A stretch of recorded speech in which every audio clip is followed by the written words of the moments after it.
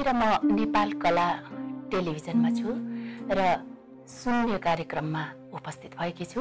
मेरो काव्यकृति युद्धको बाँसुरीबाट आमा शीर्षकको यो कविता म वाचन गर्दैछु। आमा। बिहानै जब देख्छु घाम जस्तै मेरी आमा उनैलाई म मन्दिर देख्छु मस्जिद देख्छु गिर्जाघर र गुम्बा देख्छु।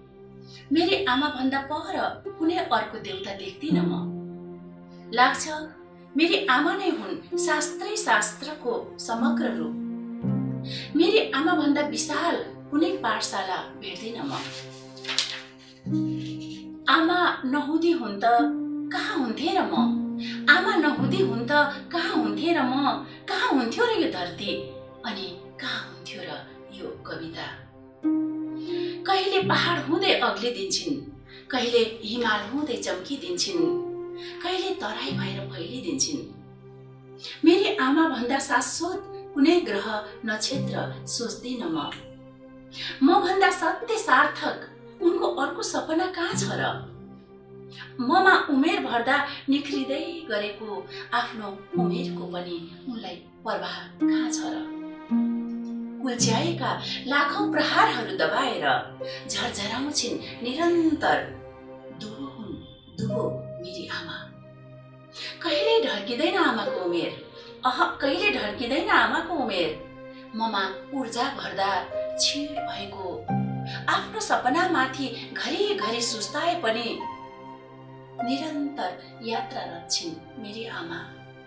समयको प्रवाह हुन् मेरी आमा जो आँसु आँसुको नदी भएर निरन्तर बगिरहन्छन् बगिरहन्छन् बगिरहन्छन्।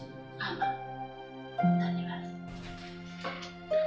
यसपछि अ, अर्को कविता छ वैधानिक कर्ण।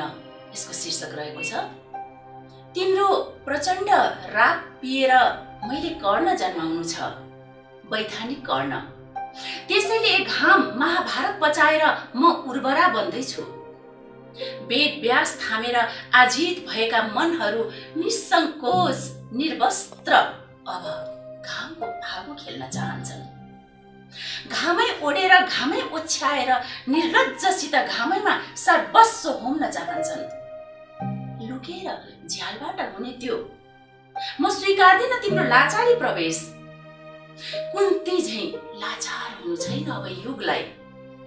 कर्णहरू वैधानिक हुनुपर्छ। युग ठम्याउने युग सम्याउने। म युग म युग महाभारत पचाउने युग। मनुस्मृति चुल्टो फुकाएर आगाका लप्काहरू निली काललाई जितेको युग। आफ्नो आकाशबाट ओर्ल आफ्नो आकाशबाट ओर्लेर आऊ छाती फुकाई निर्धक्कले आफ्ना बलिष्ठ पाखुराहरूमा समेट मलाई र उर्वरा मेरो उर्वरा गर्भमा कर्ण धारण गर वैधानिक कर्ण। तिमीबाट केही समय वञ्चित हुँदैमा साँगुरिँदैन आकाशको सिमाना। आकाश त यसै पनि तिम्रै हो उसै पनि तिम्रै हो। घाम तिमी त युग युगदेखि आकाशको। ए आकाश ए आकाश नरोक्नु घामलाई धरतीमा ओर्लन। केही समय ममा हराउन देऊ घामलाई। मैले कर्ण जन्माउनै छ। कलियुगको वैधानिक कर्ण। र र त्यसपछि कर्णमय हुनेछ बतास। फुलका सुगन्ध सबै सबै कर्णमय। हिमालले छर्नेछन् कर्ण मुस्कान। त्यसैले तिम्रो प्रचण्ड राप पिएर अब म जन्माउँदैछु वैधानिक कर्ण। धन्यवाद। अब युद्धको बाँसुरी कविता सङ्ग्रहबाट अर्को एउटा एक कविता रहेको छ शीर्षक छ भालेहरू। आदिम कालदेखि सिउर फरफराउँदै बाँसिरहेका भालेहरू बाँच्नुमा गर्व गर्छन्। भ्रममा छन् उनीहरू आफू बाँसेरै उज्यालो हुन्छ भन्छन्। उनीहरू अनेकौं नाटक गर्छन्। अनेकौं नाटक गर्छन् उनीहरू पोथीहरू मक्ख परिरहन्छन्।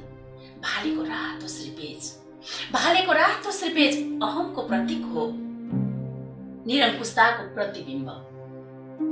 एउटै पोथीमा तृप्त भएर उसैप्रति समर्पित भइरहन सक्दैन भाले। एकपछि अर्को खोर रछ्यान करेसो आँगन बारीहरूमा अरू अरू पोथीहरू जारी रहन्छ भालेको प्रेम जालोमा अल्झिँदै गए पोथीहरू अल्झिँदै जान्छन् पोथीहरू र आफ्नो अस्तित्व आत्मबल सबै गुमाउँदै जान्छन्। भाले समयको सूचक हो या असमयको? भाले समयको सूचक हो या असमयको? दिग्भ्रमित छु म। किन त भाले घडी उल्ट्याउँदै दिनमा पनि बाँच्छ साँझमा पनि बाँच्छ मध्यरातमा पनि बाँच्छ। बिहानमा मात्र होइन। हो। हो उहिले उहिले बस्तीहरू भालेको नामसँगै बिउजन्थे अरे हरेक दिनको समय चक्र सुरु हुन्थ्यो भालेकै कुर्ल्याइबाट हाम्रा पुर्खाहरूले नै अग्ल्याइरहे अग्ल्याइरहे यसरी सधैँ सधैँ भालेको सिउर चल्लाहरूलाई जथाभावी ठुङ्दै पोथीहरूको हुर्मत काट्दै बेला न कुबेला घरका आँगनबाट धुरी धुरी चहारी समयको विरुद्ध बेसोमत बाँच्ने यी भालेहरूलाई अब समयको प्रतीक मान्ने कि नमान्ने? आज पोथीहरूले यही प्रश्नको उत्तर खोजिरहेछन्। भाले बाँसेर उज्यालो भएको हो या उज्यालो भएर बाँसेको हो भाले? धन्यवाद। म कविता वाचनको क्रममा छु।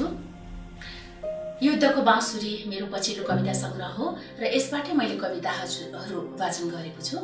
र अब यो आजको यतिखेरको निम्ति अन्तिम कविता म वाचन गर्दैछु। मेरो आकाश। कथित धर्मको कुँडो घोप्ट्याएर म मेरो आस्थाको भर्याङ उक्लिरहेछु। मभन्दा धेरै धेरै माथि छ मेरो गन्तव्यको आकाश। घाम छ त्यही आकाशमा। जुन छ त्यही आकाशमा। त्यही छन् सपनाका ताराहरू त्यही छन् जीवनका फुलहरू। म जसरी पनि पुग्नु छ त्यही अनन्त उचाइ छु न त्यसैले त त्यसैले त म अग्लिरहेछु निरन्तर अग्लिरहेछु छित्तिसको परिधि नागेर। अब म उठ्छु बादल माथि माथि उठ्छु। विचारको प्वाख हालेर उठ्छु। बतास सँगसँगै उन्मुक्ति गीत गाउँदै उठ्छु म। त्यो त्यो आकाशमा पुगेर मैले सुनाउनु छ पृथ्वीको आँसुको गीत। धन्यवाद।